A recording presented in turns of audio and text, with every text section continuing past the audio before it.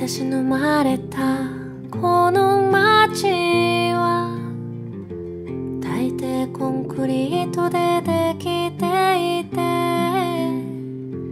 隣の工場からは機械の音が聞こえる。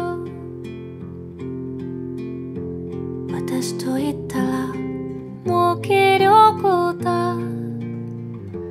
空ばっかり。眺めていた。鳥の歌も聞こえないほど。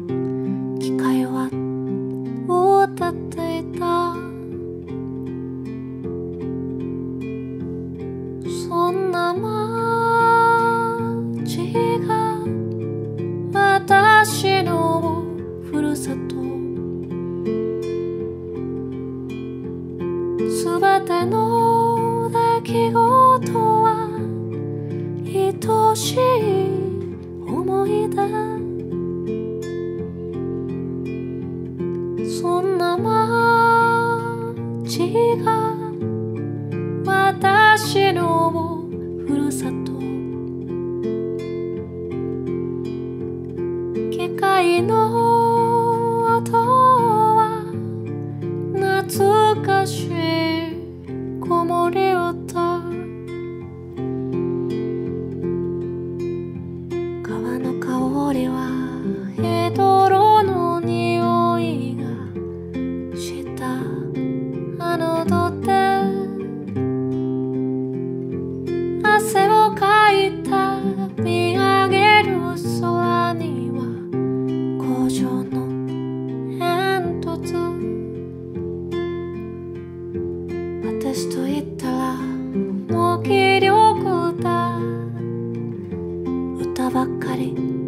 歌っていた。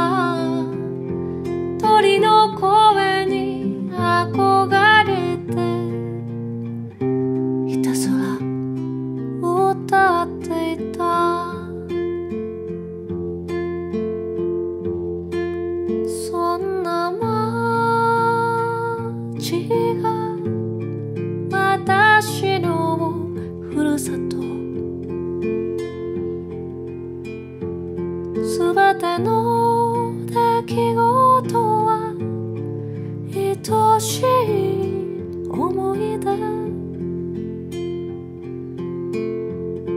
そんな街が私のふるさと。